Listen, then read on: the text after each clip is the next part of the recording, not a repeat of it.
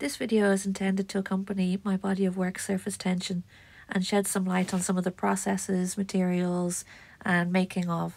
It is a multimedia study which uses print, costume, performance, composition, video work, text pieces, and creative technology in order to find ways to address my relationship to the space I was in throughout the whole year of COVID restrictions. The works being presented fall into three subcategories moon, wall, and plant.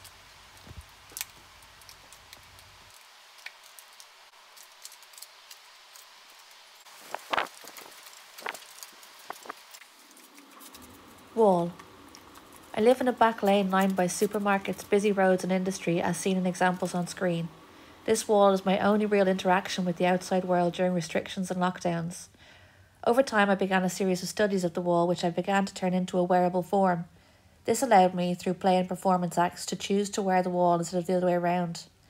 Lengthy handmade process and materials were important to me in making this costume. I photographed a section of the wall and distilled it down to a single colour screen print.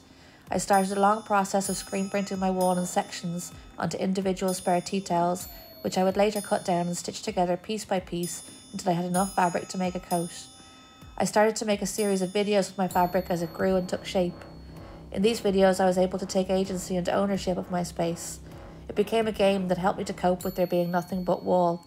With this coat, I could threaten to become the wall whenever the wall tried to become me. I continued making a series of other outfits, including a full tracksuit with this wall. The result is a series of performance works and portraits wearing said wall. Moon. In these pieces, I created a dress I made out of a tracksuit that I wore throughout lockdowns. It was important to me to use something that I wore in secret behind closed doors and to turn it into something that could act as a transformative costume, um, something that helped with the metamorphosis. The moon acted as a keeper of time and a sign of renewal, and that things could keep going and keep moving.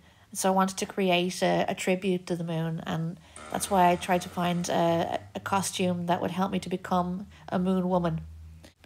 Above you can see the dress on a tailor's dummy and a demonstration of me using it. This um, costume could be used in the future for performances that were interactive or installed in some form in an exhibition format um, and the sensors can be uh, programmed to be proximity sensored. So when audience members go near them, they create musical pieces, all unique depending on their interactions.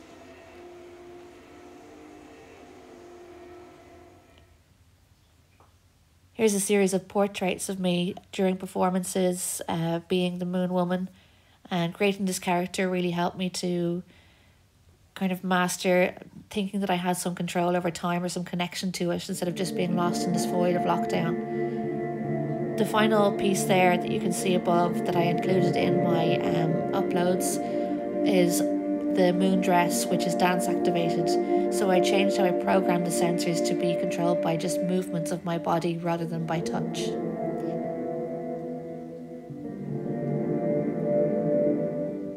Plant. I created the plant orchestra as looking after my houseplants was one of my only interactions with the living world through quarantine.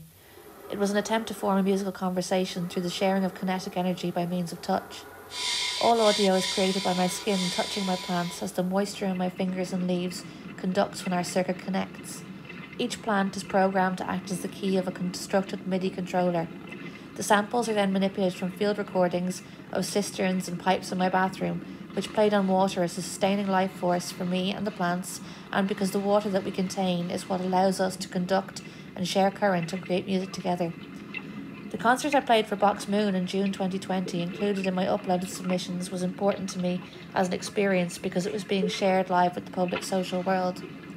There was an intimacy from being crammed into my room with the live camera view. It became a voyeuristic window into my life, even though I had been quarantined alone with the plants and here people could watch us become part of that same circuit.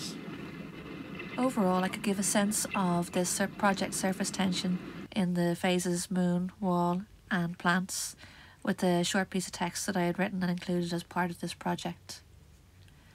If I'm stood outside my shutter, staring at the same high grey block wall, topped with the same sharp spikes and wires, watching the same moons come and go in shifting grids through the fence, and my feet are rooted on the same broken, always puddled tarmac, and everything is energy, and my skin is just a permeable thing from which the outside and inside enter and exit, then where does this grey place end, and where do I begin?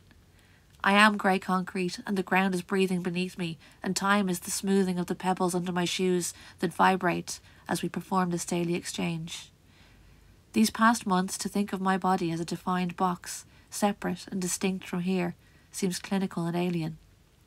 To divide things into categories of me and other while I stand here, months without interaction with anything in the physical world except for this place where I exist, it just feels too rigid to be true. I am this place as much as this place is me. No one knows I am concrete, because maybe they are less concrete and more grass, or more chair, or more husband, or more tea and a bourbon cream. The permeations of a person are infinite, but now I am concrete and wires.